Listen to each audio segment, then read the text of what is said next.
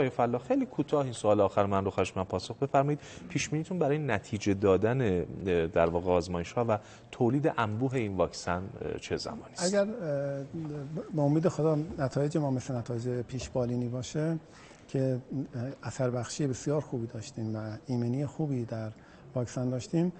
دو تا مرحله دو ماهه ما داریم فاز یک و فاز دو که اواخر خرداد ماه یا اواسط تیر ماه ما فاز دوی clinical trial یا کارآزمای بالینی رو که طی کنیم اون دوز موثر مشخص میشه و طراحی صنعتی ما هم انشالله تو اون مرحله به بهره برداری می‌رسه و می‌تونیم تولید انبوه رو داشته باشیم. خیلی ممنونم از شما آقای فلاح معاون تحقیقات و فناوری مؤسسه تحقیقات واکسن و سرم سازی رازی متشکرم.